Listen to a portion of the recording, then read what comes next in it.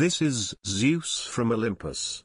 If you are watching this, keep it to yourself.